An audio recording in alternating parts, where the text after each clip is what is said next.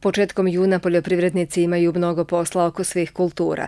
Paralelno se radi zagrtanje kukuruza, špartanje šećerne repe, suncokreta i soje koja se i prska protiv sirka. Ratari su na njivama od jutra do večeri. Zbog toga što smo u samo proleće imali ne, ne nepovoljne uslove, znači nismo imali neke intervale između setve suncokreta, soje i kukuruza, tako da nas se sve to sjatilo odjednom. Kukuruz polako odmiče, raste, raste znači ako nije, neko nije uradio za, zagrtanje kuruza, a hteo bi da uradi, najbolje bi bilo da što pre to odradi, jer kukuruz raste baš dosta dobro međutim e, vlage baš i nemamo puno, znači treba da se sad kultivira špartanje, zagrtanje, nije bitno šta, da, da se radi da se ta vlaga koliko toliko sačuva.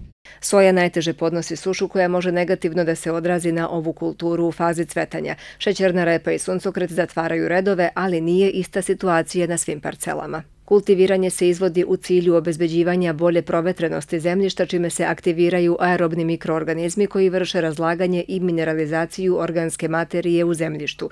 Ovo je veoma važna i nezamenljiva mera nege i ukoliko se pravilno izvodi može imati značajan uticaj na prinose gajenih biljaka sa nekog naučnog stanovišta koje smo mi imali neke prilike da čujemo od instituta koji su pravili neke oglede, svaka kultivacija u bilo kojoj ratarskoj E, kulturi može da donese e, i do 300 i 500 kg po hektaru boljitka, znači e, više prinosa. Razbijanje pokorice utiče i na sadržaj vode u zemljištu, a međurednom kultivacijom uništavaju se korovi koji nisu suzbijeni hemijskim putem. Čim završe sa ovim radovima, poljoprivrednike očekuje žetva ječma.